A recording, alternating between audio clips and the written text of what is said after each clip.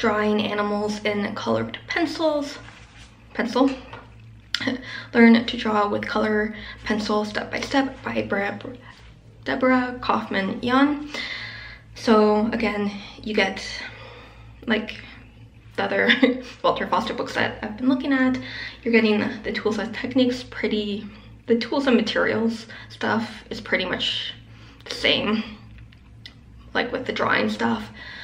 Um, the techniques you're getting stuff like color palette type of thing. So just like swatches of colors, strokes, blending, layering, that type of thing.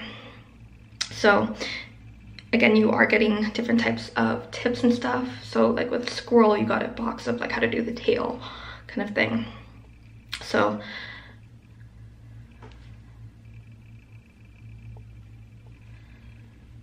you're getting like simple start kind of sketch then adding kind of like more detail to it and then like the coloring it in and then like leopard spots no wants to focus.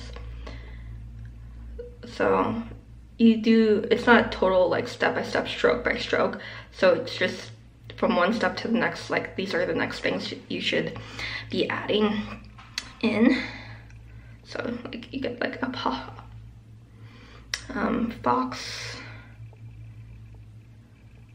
Okay, that's for the next one.